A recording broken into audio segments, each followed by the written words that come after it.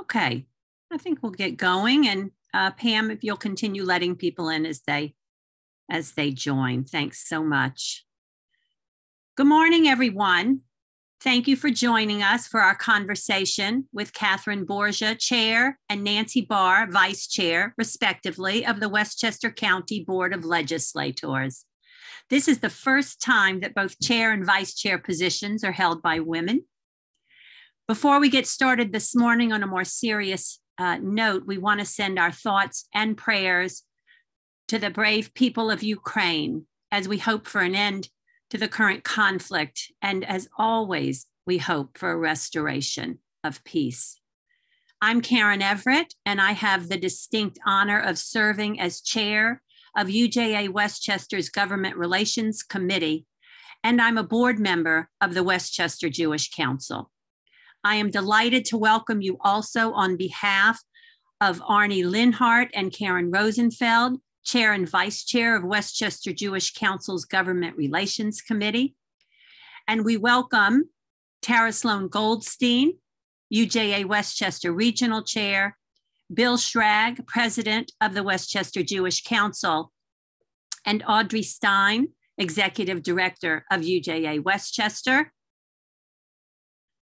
this event is a collaboration between UJA Federation Westchester and the Westchester Jewish Council, two incredible organizations that work together to strengthen the Jewish community. UJA's network of hundreds of nonprofit partners, including many here in Westchester, provides essential services to hundreds of thousands of people in need. UJA also advocates on behalf of our partners and the needs of the community in the halls of government. None of our work is possible without our elected officials and the support of local, state, and federal government. Westchester Jewish Council, which is one of UJA's nonprofit partners, connects our county's Jewish community and strengthens relationships among over 130 member organizations and other ethnic and faith based groups, elected officials, and the community at large. Before we get going with our program, I'd like to invite all electeds who are joining us this morning to announce themselves in the chat so that later we may properly acknowledge you during the program. Thank you so much for being here. Now it's my pleasure to introduce Catherine Borgia. Legislator Borgia was elected chair of the County Board of Legislators by unanimous vote at the beginning of the 2022 23 term. She is only the second woman to serve as chair and the first in 20 years. She represents District 9, which encompasses Ossining, Briarcliff, Croton, part of Cortlandt, and the city of Peekskill. Thank you so much for being here this morning, Legislator Chair Borgia, and I'll turn it over to you. Well, thank you so much. Um, it's wonderful to be here. What a great turnout for such an early Zoom.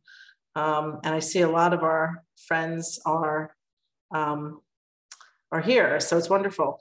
Um, I just want to, I guess, talk for a few minutes, just a little bit about about myself and my career. I started out in public service as um, sort of a mommy advocate. Um, I became interested when the uh, um, welfare reform in the 90s happened, and I was a young mother. And um, the back the idea was that if people couldn't find jobs going back to work like as greeters at Walmart, they should open daycare centers in their homes. And I thought, well, that was really um, gambling with our next generation's future to say, oh, somebody who doesn't have the skills to have a job at McDonald's should open a daycare center and watch children and get children ready for school. So I started to become very involved in uh, family and children's issues, really making sure that the investment that we make in our youngest um, children is significant because that, those are the dollars that pay off the most uh, in our society when we think about government resources.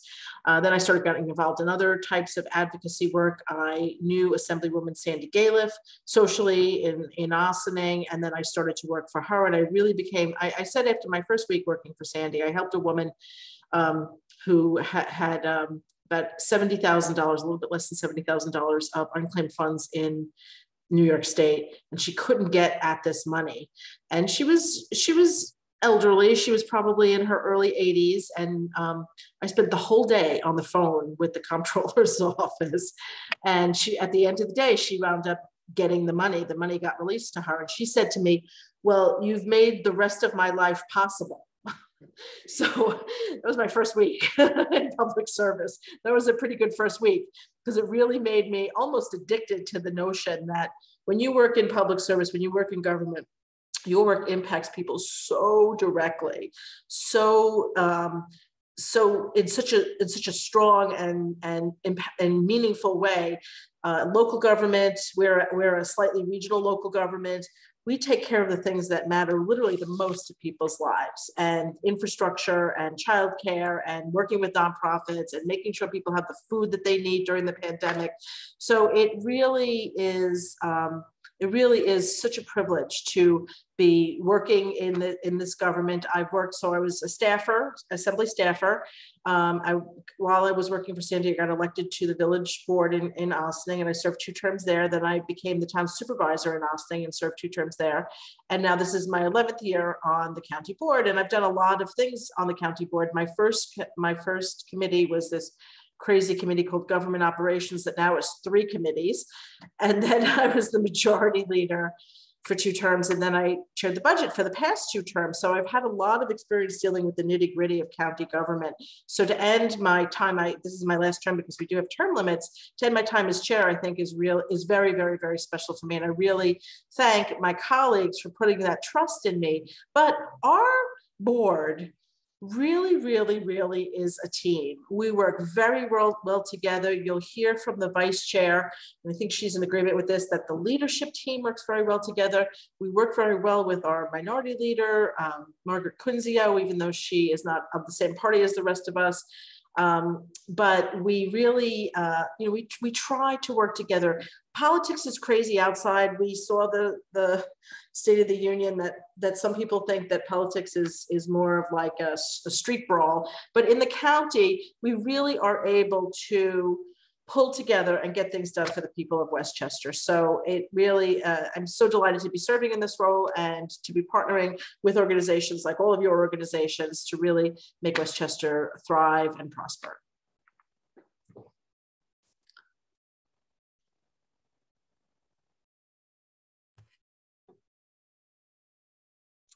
Good morning, all. Arnold Linhart, I'm chair of the Government Relations Committee for Westchester Jewish Council. I'm joined by my vice chair, uh, who you, you will hear from later. It's my honor. First, thank you, Chairwoman uh, Borgia, for your remarks this morning. It's uh, my honor to introduce the new vice chair of the County Board of Legislators, Nancy Barr. Uh, Legislator Barr was elected in her is in her third two-year term, and she represents District 6, which is comprised of Port Chester, Rye Brook, and Harrison. Welcome, Legislator Barr. Thank you so much, Arnie, and uh, thank you so much to Elliot and Pam for um, reaching out and putting this uh, program together. It's it's wonderful to have, you know, partners like you. Um, so uh, I will just say that um, I don't have as long and storied a history in uh, politics as as the chairwoman, but I certainly have the same level of um, devotion to public service, and um, and that's manifested itself over the years in um, a lot of volunteer activity, starting from you know before college really but but throughout um, college throughout law school throughout my various um, career turns i i am a lawyer uh, by trade. I uh, practiced at a major uh, wall street firm for four years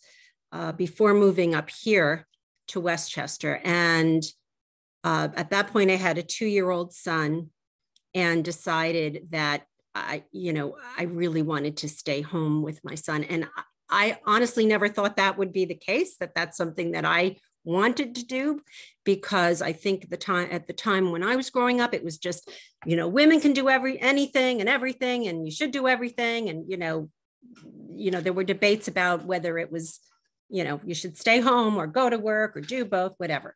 But anyway, I I did stay home and um and I had a second child and I got very involved in volunteering in the schools which ultimately led me to run for the Board of Education. And I served on the board for six years from 2009 to 2015.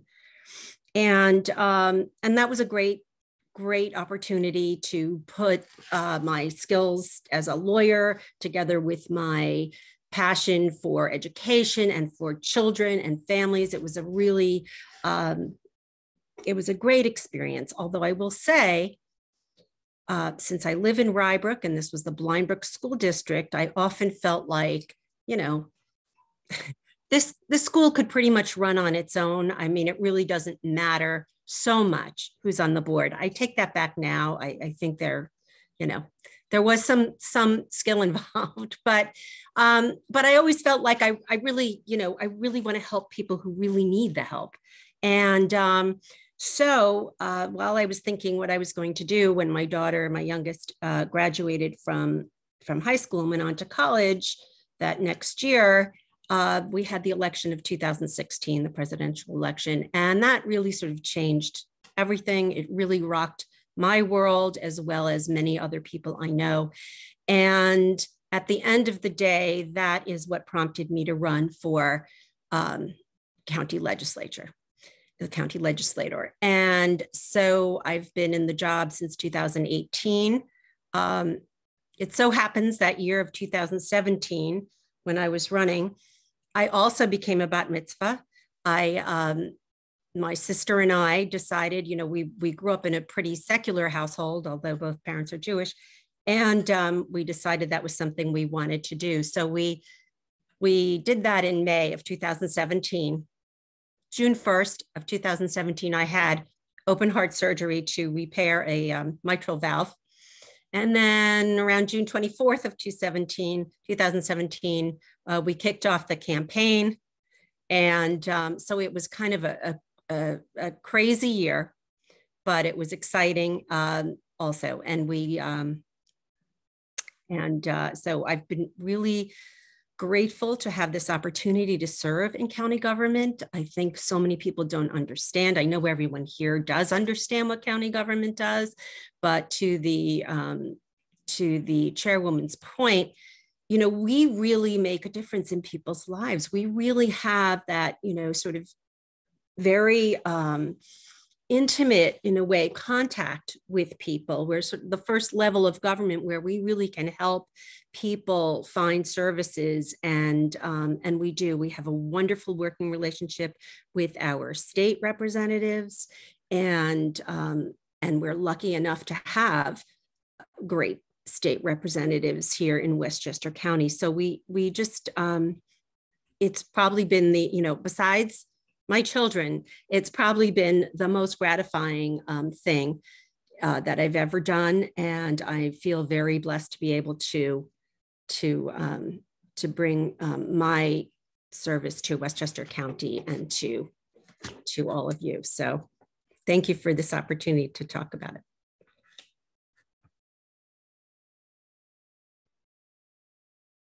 Hi, Arnie Linhart back again. Thank you, uh, Legislative Barr for your remarks. Um, I have the honor of introducing the elected officials and the representatives that have joined us this morning. Thank you for taking time out of your schedule. On, and I'll try to divide it up by uh, their positions. On the state level, we have Gary Brown and Allison Spindell represent staff to State Senator Shelley Mayer. On the county level, County Clerk Tim Idoni, uh, representatives from our county executive, uh, Shari Asher and Emily Saltzman, representing our district attorney, Mimi Rocah, Lila Curtin. And we have also been joined by one of newer members, or the one of the new members on the county board, Jewel Williams Johnson. Welcome. And on the local level, Victoria Presser, who is a member of the White Plains Common Council. Again, thank you for joining us uh, this morning. Um, if, uh, I'm turning it back over to Karen Everett, who will be uh, handling the question and answer part of the uh, meeting. Thanks, Arnie. Thanks so much. And and again, I I uh, echo Arnie's uh, welcome on behalf of all of us who are involved in bringing this program to you for taking the time to join us. Um, I, I, don't want to let um, the next minute go by without acknowledging uh, Elliot Forchheimer, who's here, who is uh, our fearless leader, executive director of the Westchester Jewish Council, and of course, um, uh, the staff who, who uh, on behalf of both Westchester um, Jewish Council and UJA Westchester. Um, in, in particular, I want to thank Margot Paz and Susan Glick for their tireless work in support of the UJA Westchester Government Relations Committee and bringing programs such as this um, to um, our catchment area and our uh, stakeholders, and as well as, of course, Pam Goldstein, um, who is behind the scenes running the Zoom and, of course, make, bringing us all together and making things happen, um, and, and the other uh, tireless Westchester Jewish Council staff. So thank you all for being here. Um, it does fall upon me to run uh, the Q&A, um, but I just want to um, uh, reiterate, as Chair Borgia and Vice Chair Barr both said, public service really does impact all our lives. And it is, in a sense, a sacred service. And that is why uh, we run programs such as this one, because it's vital to our democracy to keep the public connected with those we elect to do the very important job of, of governing. I just think it's always important to keep that uh, mission front and center. We did receive questions in advance uh, with registration, uh, which we will um, ask. But if there are additional questions, please put them in the chat and uh, we'll get to as many as we can. So, uh, first uh, and foremost, um, it would be great to hear in a few sentences from uh, both of you uh, what are some of the challenges that you see and the opportunities facing Westchester County this year and, uh, and the foreseeable future. Uh, Chair Borgia? Sure. Um, well, we're, we're in a very unique position right now in Westchester County where after many, many years, all the years that I was on the county board where we were struggling um, for financial resources, we're in a place now where we're actually have some resources that we can devote to uh, doing some building that will help to sustain things in, into the future. Uh, when I first joined the board, um, the financial situation was was not great and it got steadily worse over the first six years that i was on the board. Some in my opinion pretty bad financial decisions were made uh, that really left us with very little resources. Once um, uh, the current county executive took over some that started to turn around and there were some hard decisions to be made in the first couple of years. Uh, I will say that our staff at the county level really a remarkable group of people, our finance staff, our budget staff, that uh, were able to use money that came in from the federal government in in the two waves of money that we've received to really do what what I would call a sustainable building of um, infrastructure. We've really caught up although we're not there yet, as anyone who's driven at all this winter knows. Uh, we've really caught up on a lot of our infrastructure projects. We've really caught up on um, being able to fund our non-for-profit partners in ways that are uh, more appropriate, not everything that they want, but, but that are more appropriate.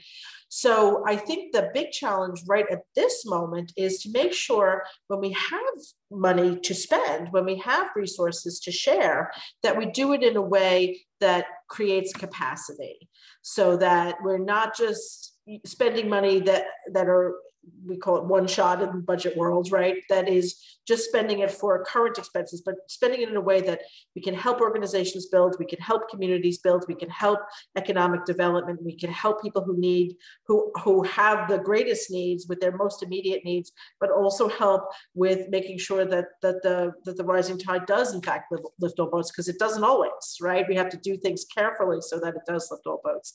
So um, I, I, uh, I always say this with a caveat because I am Italian and we're a little superstitious, but our problem is that our problem is a good one, which is that we have resources and the problem is how do we spend it? How do we spend it wisely? But I am gonna knock wood when I say that. yes, and we would say poo poo poo. so we all, all, all groups, all faiths have these, uh, these ways of warding off the evil eye. Um, Vice Chair Barr, did you want to add? Um, I think um, Catherine pretty much uh, summed it up, but I, I will say that, um, you know, coming off of the pandemic, which we don't know if it's completely over, and um, with uh, situation with uh, rising prices and so forth and the war in Ukraine, um, there, you know, there are very specific challenges to our time and, and um, it exacerbates or has already exacerbated some of the things that we know are major issues in the county. Um, one of those, of course, being um, people being able to afford their their homes and being able to afford to heat their homes and you know to live you know just have the basics and that's something that we focus on a lot and we'll probably get into it more um, during this discussion but um, I think that that is certainly an area where we we need to put immediate, and we have been putting immediate attention to. Thank you. You know, um, just continuing this stream in terms of taking it, it, it's a blessing to be talking about having resources um, rather than having to find resources. But um, in terms of serving the most vulnerable, because really um, that's um, as nonprofits that are hosting this event, really the, the quote business we're in. I just want to um, hear a bit more um, in terms of serving the, the needs of the most vulnerable in our county, such as um, uh, nutrition, you know, access to food and nutrition, access to healthcare, particularly in the area of mental health. And then there's the big issue facing Westchester, and it's not only those who live below the poverty level, but but many um, who are what we might call middle class affordable housing throughout the county, which is a, which is a growing a, a growing issue. So, um, yeah. Oh, can um, I start, Nancy? Is that okay? Yeah. Um, so affordable housing is, is a need that we have identified for many, many, many years before the, right before the pandemic. Uh, legislator, former legislator uh, Freda Williams and I pushed for many years to have a housing needs assessment done because we knew that, that the cost of housing was, was a problem, as you say, Karen, at almost every price point. It, except for the very highest level, people are paying too much for their housing.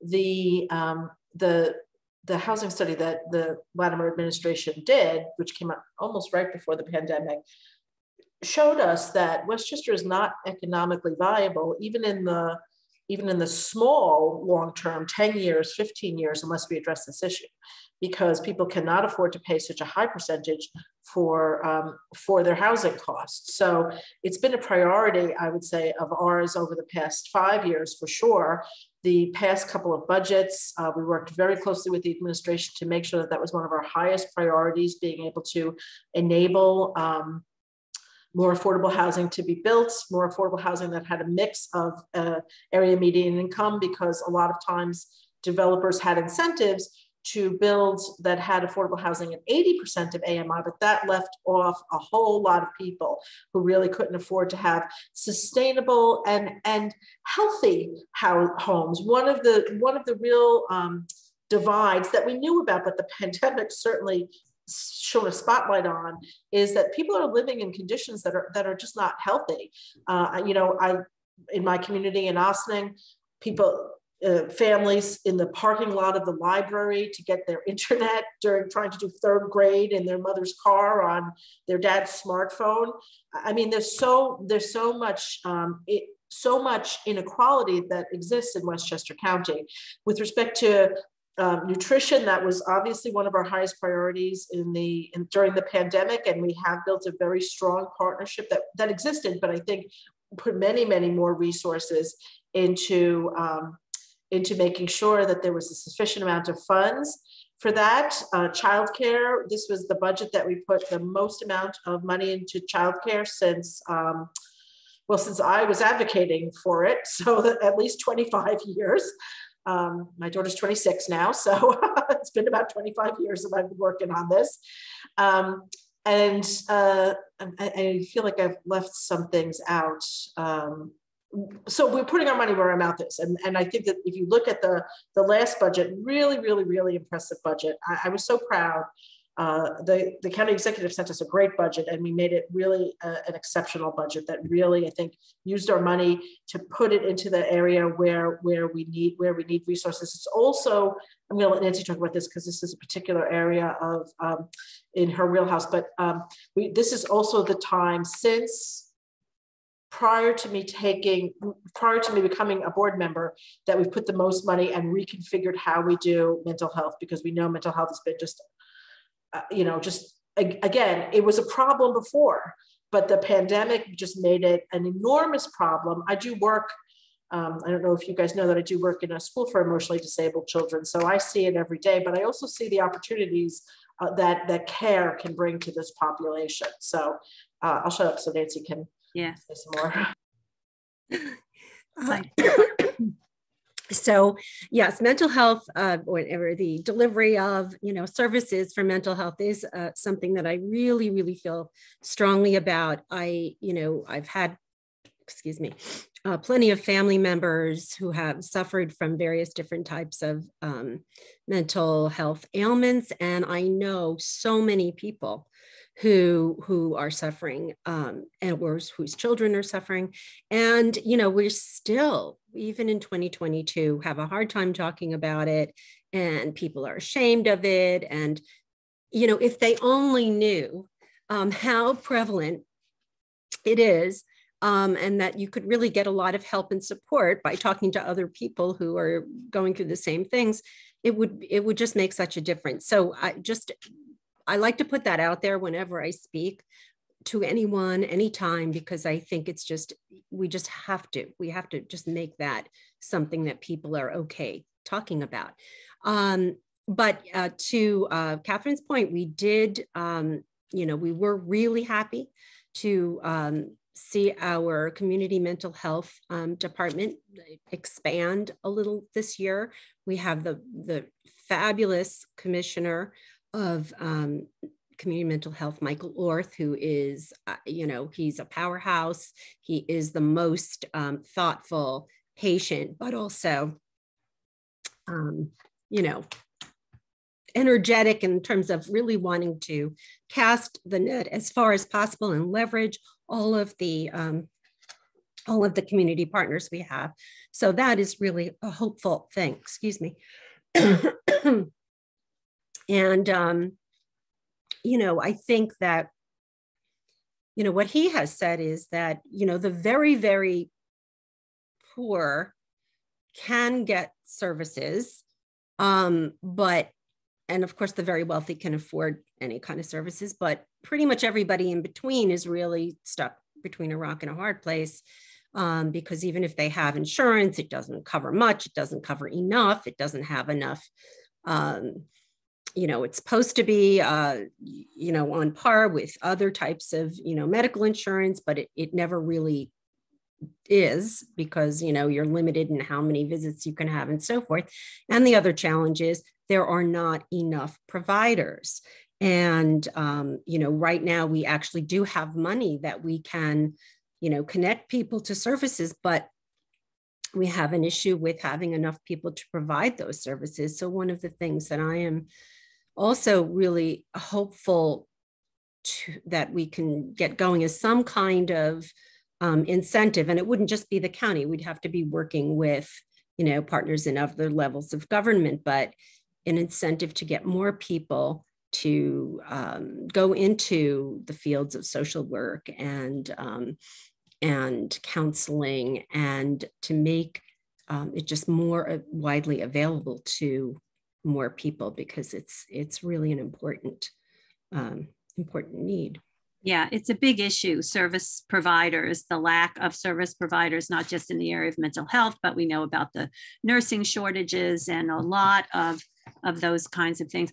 Um, we'll come back to that, but I know that um, that on everyone's mind, uh, particularly at this gathering um, here, is um, is the rise in hate crimes, in particular anti-Semitic incidents um, certainly across the country, but but in particular, of course, we're living here in Westchester County, and um, we would like to hear what um, at the county uh, government level is being done to address um, this rise in anti-Semitism and this kind of feeling of, of fear um, that is permeating um, our communities.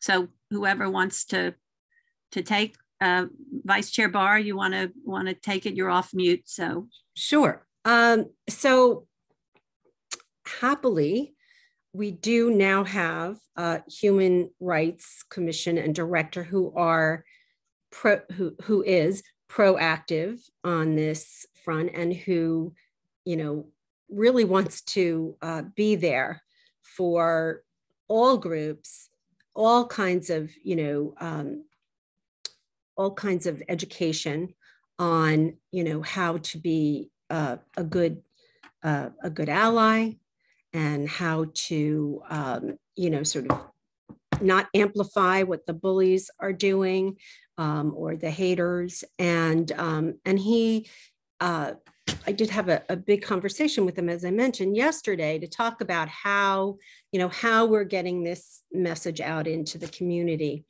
And as some of you know, or maybe all of you know, we did pass uh, last year this um, anti harassment legislation. And it's pretty exciting because prior to that, the county only um, only got involved in situations, um, the Human Rights Commission only got involved in situations where there was discrimination in housing, employment, or uh, I guess, public accommodation.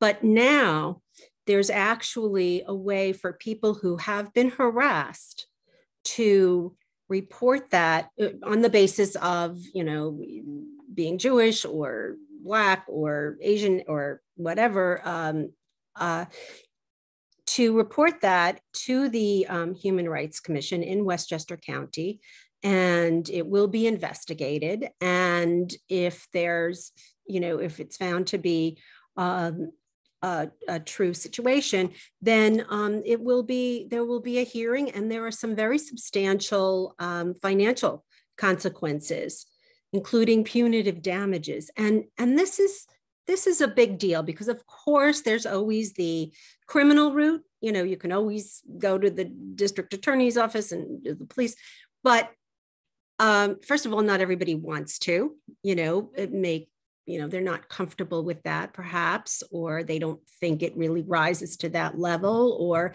any number of things. But this is something it can be even reported, it can even be reported anonymously very easily on um, the county, on the county's website. Um, I, Debbie Friedman, who's my legislative aide, is on this call. She can put that information in the chat. You can um, upload pictures. If you've taken pictures, you can also call. but um, but I think that's really important, and I think that the Jewish community um, needs to make sure that everybody knows about this, and that and that you report things, even if you don't think it rises quite to that level, because it's important to know what's happening in the county, and if it's happening in one village or town, it you know it might happen in another the next week and um, and we need to you know keep an eye on these things. So i i know that um, he has spoken to many groups about this. He'll be talking to our families task force on on um, thursday morning which everyone is welcome to attend and, and we've invited elliot and pam. Um, but um, you know, and if you want him to come and speak to a group, he's more than happy to um, so that people are just aware that this exists and that they should take advantage of it it was it was really landmark legislation. It moved um, this um, issue into a different place, and um, it, not just what rises to criminal um, to the status of a criminal of a crime, but but actual um, can be um, harassment can now be reported and tracked. I just want to say that you know, as my role as the Westchester Jewish Council board member, I chair the interfaith intergroup roundtable where our member organizations come together and educate ourselves on these issues. And uh, we are actually working hand in hand with Tejas Sanchala and the Human Rights Commission uh, for a program coming up on March 9th. I'm going to plug it since I've got the, I'm off mute. Um, plug it. It's uh, the council's uh, program, uh, bystander intervention training. And this is an important, important uh, way that we all can educate ourselves not only about um, the, the particular legislation and how to recognize it and then report it, but what we can do to intervene and make a difference kind of on the ground as things are happening. Um, there'll be more promotion of this particular event. I know Tejas is working um, hard on that. Um, in particular, with regard to anti Semitism, I don't know, um, Chair Borgia, you have um, something to add to the conversation? Well, I will say that um, I do think that constant vigilance is needed on on these issues. You know, I I always feel whenever nothing good in history has happened after a spike in anti-Semitic activities. Um, so it is something that I think we have to be very careful about noticing and recognizing. Um, I will say also during the pandemic, we've seen a rise in uh, hate crimes against Asians. Um, in uh, some communities up north, we've seen some um, anti-Black uh, things happening.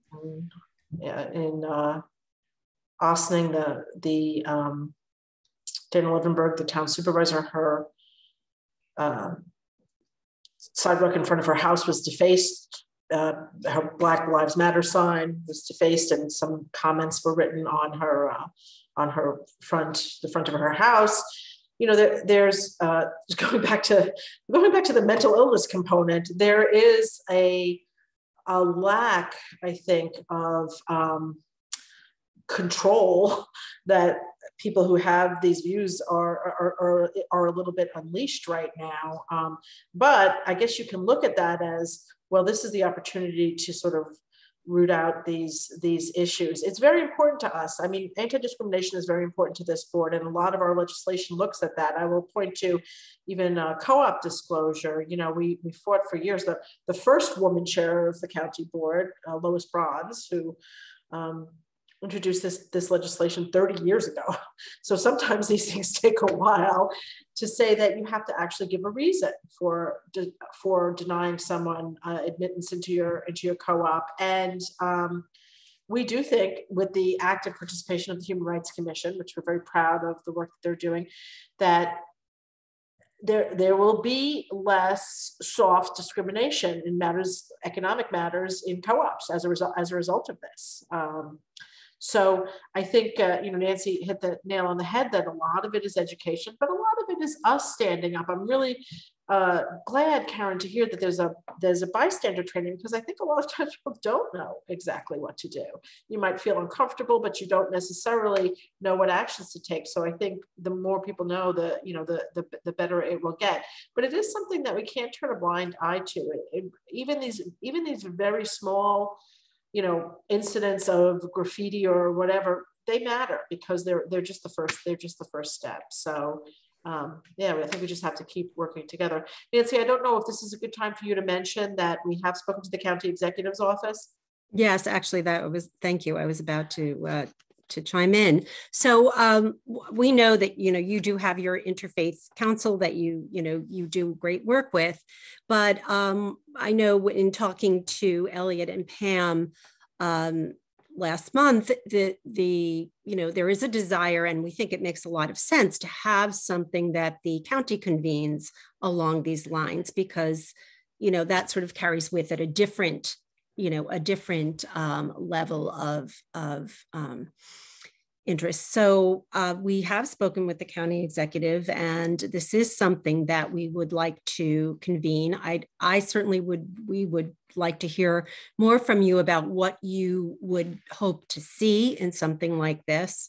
Because um, while we don't, you know, we don't want to be redundant, but we do want to be you know, we want to do something that will be really um, helpful. And so I think that we should have some further conversations about what this looks like, and then we can, um, you know, put something together.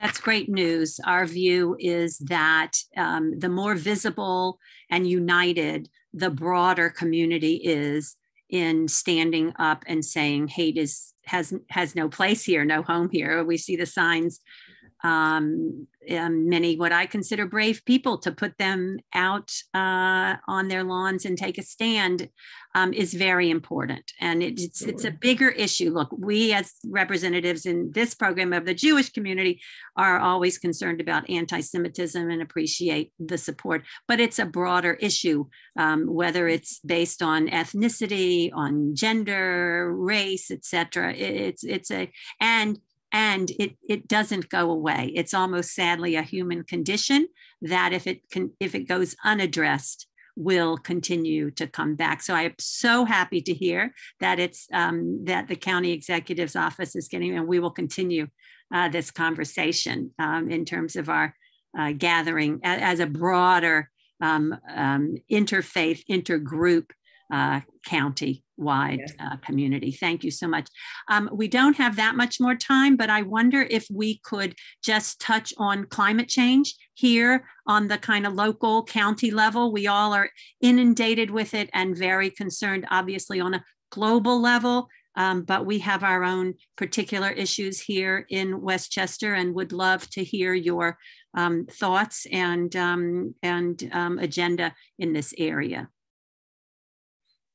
Uh, do you want to start or would you like me to start? Uh, uh, I should start? You're okay. so, um, so yeah, this is obviously a, a big ex existential problem. Um, and um, and actually, my first uh, committee chair assignment was in um, environment, health, and energy, and I am um, continuing to stay very involved in that. I'm actually the vice chair of our current committee. Um, you know, there are there's plenty of things that we can do at the county level and we have started to do there's a lot more we should be doing and we're we're you know trying to get those things moving but um you know one of the things uh, you know first of all we you know the county executive and, and the board approved last year a, a resolution that said there is a climate emergency which was a big deal because at the beginning of the administration, there was a hesitancy, I think, because it was still so polarizing, which you know was ridiculous. But but I, again, similar to the mental health issue, I think you know you have to talk about it, you have to put it out there, and you have to show that this is really a priority. And um, and so we have really made it a point in um, every meeting with public works and planning that has anything to do with building or infrastructure we always talk about how can this be made more energy efficient. And you know i'm sure that the county has embarked on a major program of replacing um, all of its uh, fleet all of its county vehicles or 90% including the buses with hybrid or hybrid electric vehicles. And we're moving more towards all electric whenever possible. And um, also, uh, we passed legislation that requires electric charging stations um, to be put in any new or renovated parking lots um, that the county owns. Um, unfortunately, we can't tell everybody else they have to do it, but if, if we can, you know, govern ourselves. We um, have really moved towards, um, you know, helping communities with the food scrapping program, which is a big, which was a big deal. And, um, you know, we just talked yesterday in committee about, you know, having all of the county buildings participate in food scrap collection because that is a major contributor to um, to our waste and um, and it doesn't it doesn't need to be. It can be recycled and reused. So um, so that's another thing. Um, we're and again working closely with state partners on and and federal for that matter on issues like you know flooding and um, you know how we can um, make our infrastructure uh, stronger and better to um, prevent um, to prevent changes that um, can lead to climate change or can or you know can hold up against the effects of climate change so there is actually quite a bit going on and lots more work to do good to hear um, Chair Borgia, before we wrap, uh, anything? Uh, yeah, you know, I think Nancy really summed it up. I worked on the, um, we called it the global warming task force under Andy Spano when I was a village trustee. So this is kind of a long emergency, but it's getting more acute. yeah. I agree uh, with Nancy that I, uh, it, it was a big step for us to say, hey, you know, we are going to acknowledge and accelerate our behavior change to be examples in how we can ourselves be more sustainable. But this is something that is going to require some level of sacrifice. I really applaud New York State because um, they have taken a real leadership role in this, and that makes it much easier for local and regional governments like the county and the local municipalities to, to do work um, that, that helps to prevent. We are, Nancy touched on flooding. Um, after Superstorm Sandy, we had to change a lot of our infrastructure, especially our um, wastewater and uh, storm and um, uh, garbage processing facilities um, because they were on water streams and some of the some of the equipment actually got destroyed. So that was sort of phase one of oh my goodness, this, we had better do things for real. You know, I represent Hudson River communities, and if there is a one foot rise in the Hudson River, that is going to take out the, the railroad. so there are some things that we need to work on with, with state and federal governments to say, okay, you know, listen, what's going to happen in the next 20 years and how do we start now? So it is something that is uh, top of mind, but also something that's going to require a lot of um, a lot of people banding together to really make it work. Thank you so much. Uh, there's so there there are a lot of issues, but we are so lucky to have you as our county leadership, and we thank you so much for joining us. Um, this has been a great conversation. We could go on and on. Um, I'm going to turn it over to my co chair, Karen Rosenfeld, to wrap it up. Okay. Thank you. I'm Karen Rosenfeld, Vice Chair of Government Relations for the Council. Karen Everett, Arnie and I thank all of you, le legislators Borgia and Barr, for joining us this morning. I'm sure everyone can agree. It's just been really wonderful and thank you for your time. Um, two announcements, please join us by Zoom on March 9th at 9.30 for a UJA Government Relations and Advocacy meeting um, with Representative Mondaire Jones. Uh, registration details and a Zoom link will follow by email.